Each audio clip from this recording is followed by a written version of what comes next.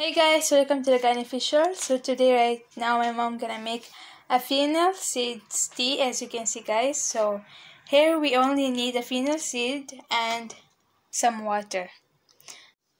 And now guys, let's get started. Guys, gawa tayo yung fennel tea guys.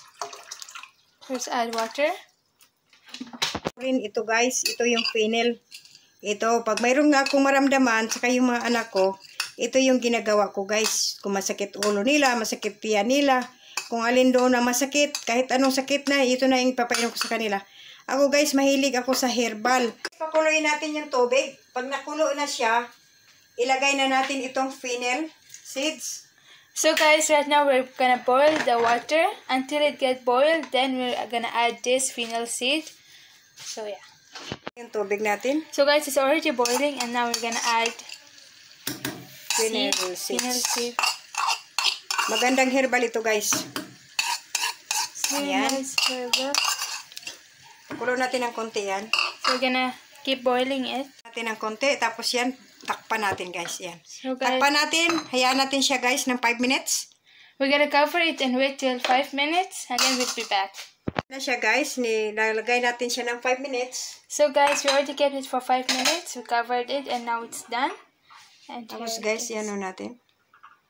Isala natin. Over na.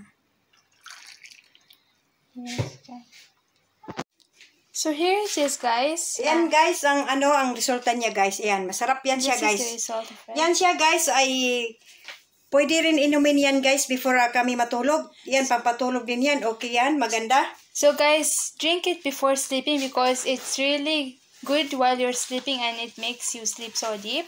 Maganda yan guys sa cholesterol, blood pressure, It is good for cholesterol and blood pressure. At saka kung gusto niyo magpapayat guys for ah, para sa weight loss. It's also mo. good for weight loss. And ah, ano guys, ka ano yan? Para sa ating kidney at sa ating liver, It's good for the kidney sa and ating liver. heart. At basta guys, ang dami siyang ang dami siyang maano diyan, magamot. So guys, it's, it has a lot of benefit and a very useful herbal. So hope you all try it someday. Tapos guys, ito rin ang ginagawa ko noong baby pa yung mga anak ko guys, lalo na kung may ano sila, kabag sila or may maramdaman sila sa tiyan nila, yung baby pa sila. Ito yung ginagawa kong tea, ah, mix ko sila ng honey. Lagyan ko siya ng honey guys, ilagay ko siya sa ano nila, yung bibero nila, yung bottle nila.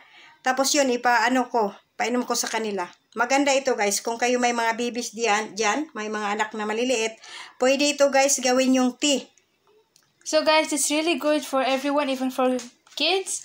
You can add it with honey so it will taste a little good so they can drink it easily. So yeah. Yun lang guys, maraming salamat guys. Sana nagustuhan nyo ang aming herbal tea na uh, fennel. Hope you try it someday guys. Please don't forget to subscribe, like, share, and comment. O please guys, pakisubscribe sa aming channel. Maraming salamat. and thank you all for watching. Bye-bye. Bye.